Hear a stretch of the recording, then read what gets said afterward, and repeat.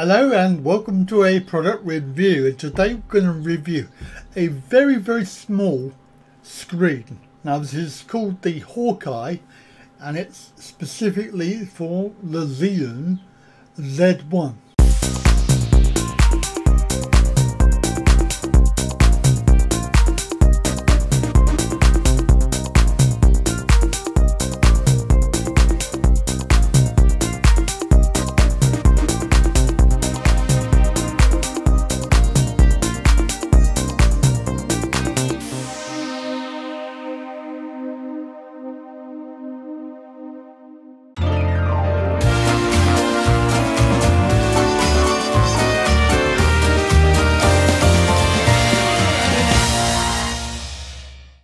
The Zhiyun Z1 Evolution that is a gimbal and it allows your GoPro to control your GoPro uh, as a gimbal, a three-axis gimbal.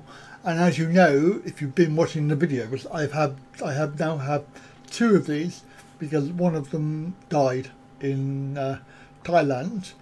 But my current uh, which is this one here, you can see, has the Hawkeye attached. And it, what it does, it attaches through the, the little hole on the side of the uh, gimbal. And you have to change the cable on the connector between the GoPro and the Zhiyun. And it's the, the one with the four wires basically allows you to charge the GoPro and also transfer the video signal. And it goes through to the uh, Hawkeye. As you can see on the video the Hawkeye is actually upside down because it is actually facing the front. And if I turn that round you can see this is the back of the gimbal when you put it round the right way uh, actually goes upright correctly. Now, uh, you when you first of all get this, you have to charge it because there's no charge uh, on the actual Hawkeye. So of course I plugged it in and nothing worked. It wouldn't it wouldn't function. So I was thinking, oh dear, it's broken or something else wrong with it. But no, when you've charged it, it's fine. The only issue that I do have with this is uh, if you move it around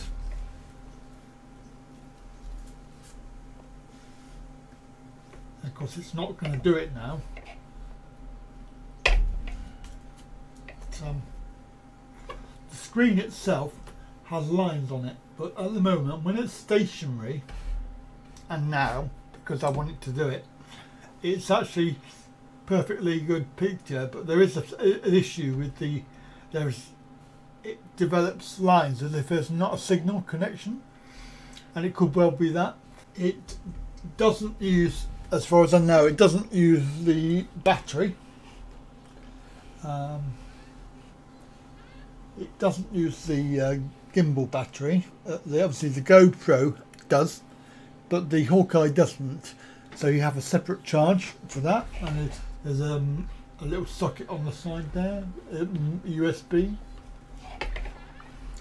I don't know how long this battery will last, uh, but it seems to be uh, functioning quite well.